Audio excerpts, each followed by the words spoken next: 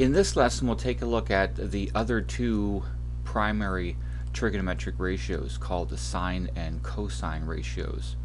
So there are two other important right angle triangle ratios other than the tangent ratio that we looked at in the previous lesson.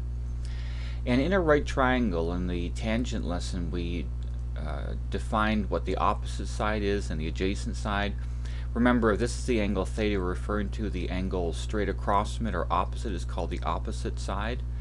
The side right beside the angle that's not the hypotenuse is called the adjacent and the uh, side that is opposite the right angle is called the hypotenuse. So that side we do need for these two trig ratios.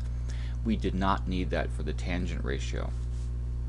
Now the sine ratio, and that's the whole word, on your scientific calculator you'll see just the word, the letters S-I-N, and it's just an abbreviation for the word sine. It's still pronounced sine, not sin. The sine ratio is defined as the ratio of the opposite side to the hypotenuse. And we write the sine of an angle, theta in this case, is the ratio of the opposite side to the hypotenuse. And the uh, regular or often used abbreviation for opposite is OPP. Does not stand for Ontario Provincial Police here. And the abbreviation for the hypotenuse is just HYP. So we're just using the first three letters for each of each word. The cosine ratio is defined as the ratio of the adjacent side to the hypotenuse. And so we write cos theta is equal to adjacent divided by hypotenuse. The, between the three of them, the sine, cosine, and tangent ratios are called the primary trigonometric ratios. There are actually three others that you'll study in the grade 11 course, the 3U course. Now, what's written at the bottom, and this is pronounced SOHCAHTOA, it's an acronym for remembering which ratio each of the trig ratios are, which ratio of sides. And SOH, the beginning, is an acronym for sine is opposite over hypotenuse. So SOH means sine is the opposite side divided by the hypotenuse side. CAH, the ka in the middle, stands for cosine, is adjacent over hypotenuse. And the last three letters in the end, TOA, stand for tan, is the ratio of the opposite over the adjacent side. So SOHCAHTOA is another is an acronym that's used to remember what sine, cos, and tan are, the ratio of which sides. Flipping over to the second page and the first couple of examples. In the first one we're asked to find the three primary trig ratios for angle theta. And here's angle theta in the triangle.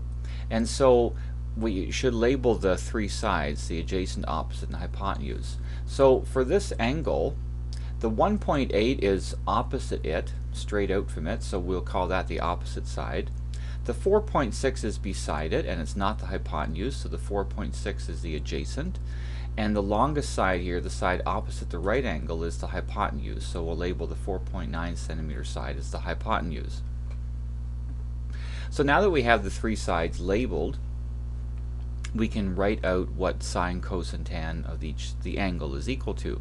The sine is the opposite over the hypotenuse side, so we would take 1.8 and divide it by the 4.9.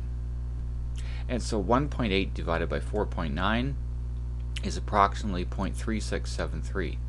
Now notice i am keeping several decimal places here. There's a note in your textbook about this as well in this section. And the reason for that is so that the angle um, measurement stays fairly precise. For example, if I were to round this to 0.4, and then if I wanted to try to find the angle like we'll do in example 2, uh, I could be off by several degrees. So keep several decimal places. I usually keep 4. And if you ever see any tables of trig values, you'll notice that they're often 4 as well. The cosine ratio is the ratio of the adjacent to the hypotenuse. So the adjacent is the 4.6 side, and the hypotenuse is the 4.9.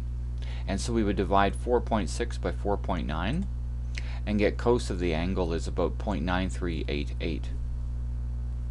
The tan ratio is the ratio of the opposite to the adjacent, so we would divide the 1.8 by the 4.6, and so 1.8 divided by 4.6 is approximately 0.3913. So that's the tan of the angle.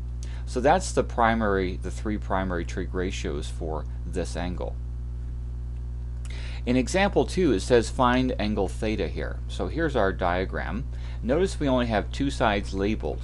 So unless we were to find this side, it restricts us to restricts us to which trig ratio we can use. And we could use Pythagoras' theorem to find this side if we wanted to, but we don't really need to. Now in this triangle, if that's angle theta, this side over here would be the adjacent side. It's the side right beside the angle, and this is the hypotenuse up here. So we have actually the adjacent and the hypotenuse side.